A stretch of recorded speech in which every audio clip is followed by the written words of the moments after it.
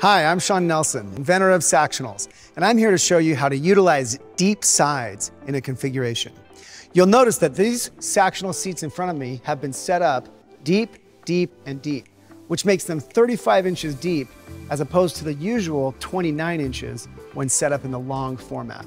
The corners on any deep configuration can be achieved using normal Sactional sides, 35 inches long here and 35 inches long here, overlapping in the corner, no problem.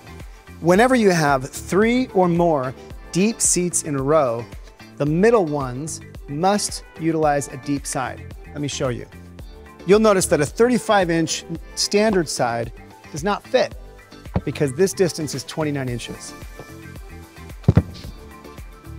A Sactional's deep side is only 29 inches in length as opposed to the standard 35 and has an elongated clamp hole so that it can align with either of the clamp holes in your Sactional seat. Sometimes putting in a center side can be difficult.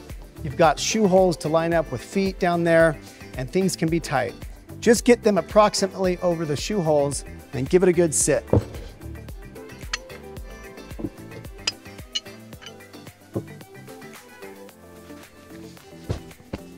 For a deep configuration like this, you'll want to utilize a deep back pillow in all three of these spots.